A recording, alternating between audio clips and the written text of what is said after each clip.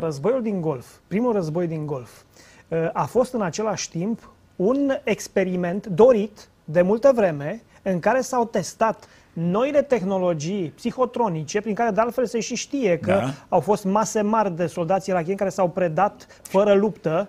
Am studiat fenomenul foarte aproape și uh, ca vă să rog. vă ușurez, să vă spun exact cum vă a rog. fost. Primul război din Golf a fost uh, cel mai mare poligon de experimente din toate punctele de vedere. Și a sistemelor antirachete, și a controlului pe uh, strategic al ferestrelor de oportunitate prin orbirea sateliților tot electronice. Apropo de războaiele electronice aici. Armă contra armă. Și a manipulărilor directe asupra liderilor. Saddam a fost trădat în al doilea război de 25 generali în același timp.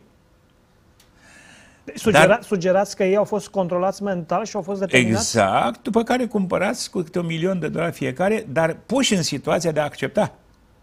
Până atunci nu s-a reușit în prima etapă. Aha.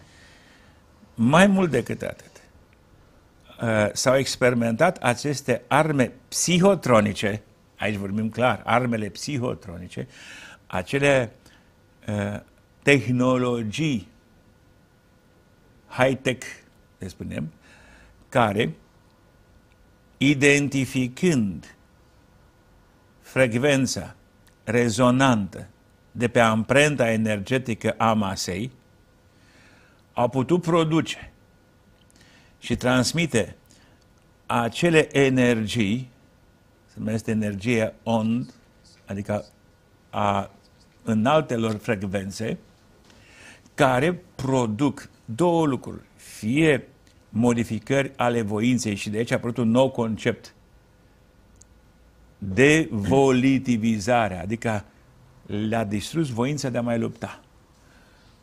Li s-au produs modificări de percepție.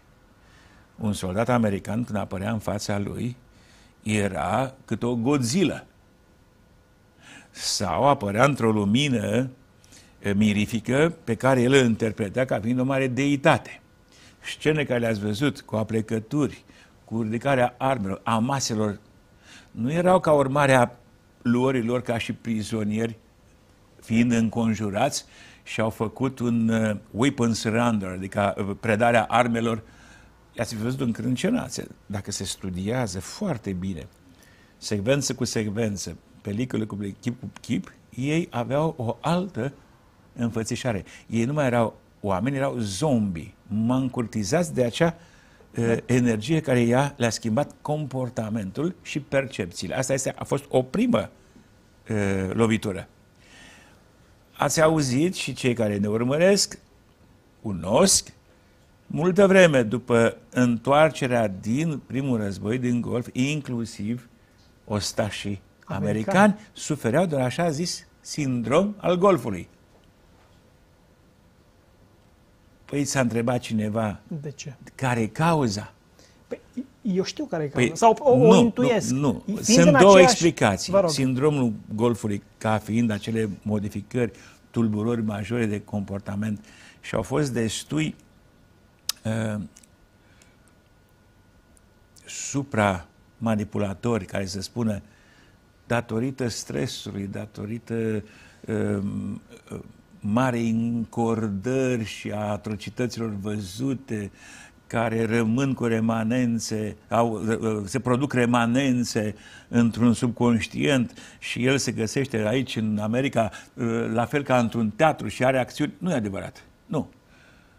Pentru că de ce a fost un experiment, un poligon de experiment? În momentul când arma a emis, și rețineți că nu a fost unidirecționată, ea a fost pe suprafață din poziția cosmică. Și a afectat și soldații. Prin normal că a afectat. Da. Americanii și-au folosit proprii soldați ca și cobai.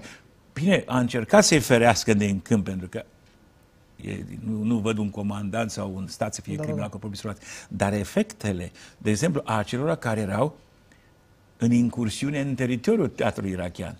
Și care nu puteau uh, scăpa. Rangersii, cercetași în adâncime, uh, inteligențul pe obiective, supraveghetorii sau uh, cei care trimiteau la țintă tomahawk-urile, radiind cu laserul obiectivul. Deci oamenii nu aveai cum să-i mai ferești. Erau în interiorul spațiului beligerant sau spațiului țintă.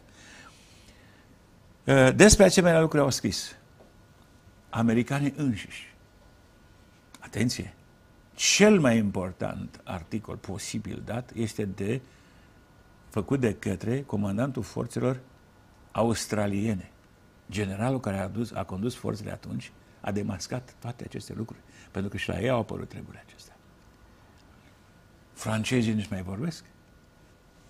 Acum sunt studii complete în academiile militare ale universităților de specialitate, în cadrul universităților militare, ale facultăților de specialitate, a fost în Egipt, acum nu mai știu dacă sunt, știu sigur că la Universitatea din Mota, regatul Hashemit al Iordanei, se studiază lucrul acesta.